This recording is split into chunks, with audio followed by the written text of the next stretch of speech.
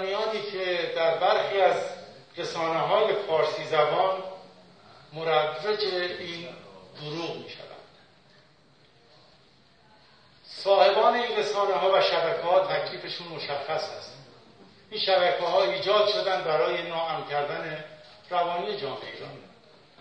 اخیرا هم یادداشتی نوشته بودم و بارها گفتم برای مخالف مستقل و بدون وابستگی احترام قائلم. نظر شخصی خودمه. البته این رو هم بگم حق سلامت ایرانیان نمی‌تونه تبدیل به موضوع مخالفت بشه. منتها برای افرادی که در این شبکه هم کار می‌کنن دلم می‌خواد که یک شعر قدیمی آذری رو بخونم چشمن آمد شد بسون گوی آپارسون سیف سنه. یاد ما Türkü kölgesinde bu yesin aslan seni.